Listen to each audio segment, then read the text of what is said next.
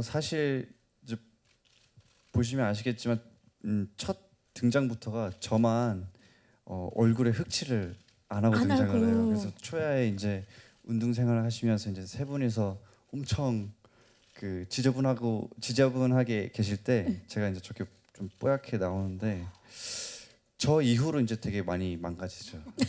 되게 아. 망가지는 매력이 좀 있는 것 같아요.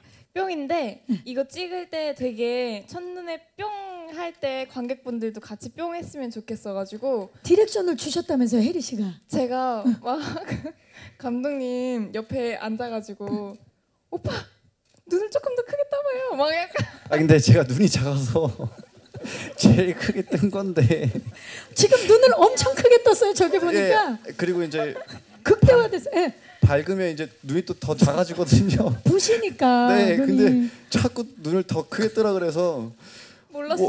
뭐, 예, 어떻게 할 수가 없었어요. 왜냐면- 불가능 불가능했어요. 눈을 더 크게. 왜냐면 해를 마주 보고 있으면 눈이 네. 부시는데 해리 씨 입장에서는 극장에서 모든 관객들이 함께 그렇죠. 반하기를 그렇죠. 그리고 이때 반사판을 정말 저는 한 번도 못 본 반사판이 세 개가 와가지고 이렇게 거의. 집을 만들어 주시는 거예요. 오. 반사판 집을 조명팀 조명 감독님이 그래서 그걸 되게 또 부러워하시더라고요. 네. 그래가지고 부럽죠. 부러워가지고 음. 아 근데 그때는 뭐 그냥 뭐 역할이 네, 해야 네, 되는 상관이 역할이니까. 없었는데 나는 네. 못하더라도 우식이 오빠는 정말 예쁘게 나오기를. 그쵸 어. 그쵸 감독님 그 거의 여배우 수준으로 제가 했습니다. 아 우식 씨 이거 레전드 씬 기대해도 되겠습니까? 아니요, 아니요, 아니요.